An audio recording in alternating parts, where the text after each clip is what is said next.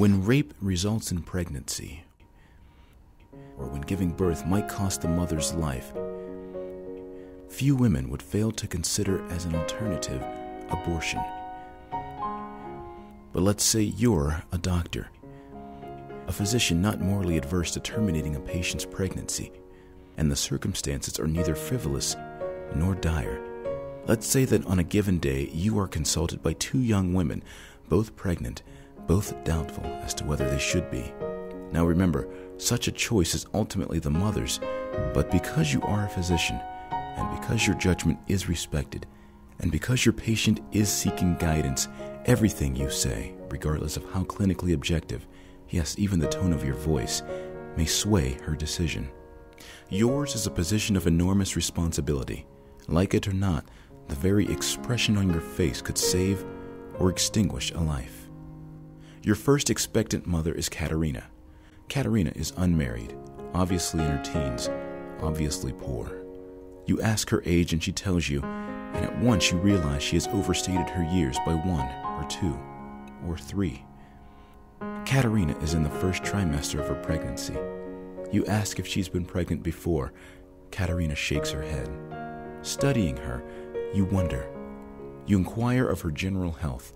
No problems, she says. And the health of the father.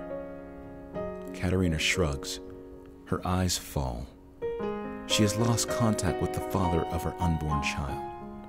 All she knows is he was 23, a lawyer or a notary or something like that. He lives nearby, she thinks. She's not so sure. The affair was over quickly, little more than a one night stand. No child was expected, nor now is it wanted. What, doctor, is your advice? Later that same day, you are consulted by a second expectant mother. Her name is Clara. Clara is 28, married three years, the wife of a government worker. She has the look of a woman accustomed to anguish. Concerned for the ultimate health of her unborn, Clara explains that for each year of her marriage, she's had a child, and each has died. The first within 31 months, the second within 16 months, the third within several days. Disease, you ask? Clara nods. She suspects that any future child would be equally susceptible. For you see, her husband is also her second cousin. Both Catholic, they received papal dispensation to marry, though now Clara questions their wisdom in asking permission. And there's something else. One of Clara's sisters is a hunchback, another sister, the mother of a hunchback. Clara is in the first trimester of her fourth pregnancy. The odds are against the health of her child. Time is running out, and it is only later that you learn Clara's husband is not, as she said, her second cousin. He is her uncle. So, what, doctor, is your advice? In addition to all immediate considerations physical, moral, religious the dilemma of whether to terminate a pregnancy is a philosophical question. Might this life, if left to live, affect the consciousness or even the destiny of mankind?